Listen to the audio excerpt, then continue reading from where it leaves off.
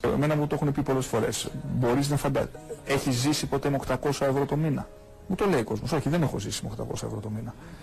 Και εύχομαι πραγματικά να μην χρειαστεί να ζήσω με 800 ευρώ το μήνα. Και άμα ρωτήσετε, πιστεύω και τους εργαζόμενους, θα σας πούνε ότι ξέρουν πολύ καλά ότι δεν μπορεί σήμερα ο κατώτατος μισθός να πάει στα 800 ευρώ.